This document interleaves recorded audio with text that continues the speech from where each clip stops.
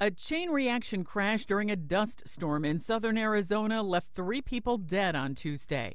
At least a dozen were injured in the accident on Interstate 10 between Phoenix and Tucson. Public officials say a total of 19 vehicles were involved in the wreck south of Casa Grande. The area is prone to dust storms that can suddenly overwhelm drivers. This one takes the cake over the last one, but it's the same circumstance, same area, same rolling dust storm that comes in um, you know, same amount of, of, of chaos. The National Weather Service had issued a blowing dust advisory shortly before the crashes. Wind gusts were reported to be reaching 30 miles an hour. Sandy Kozel, The Associated Press.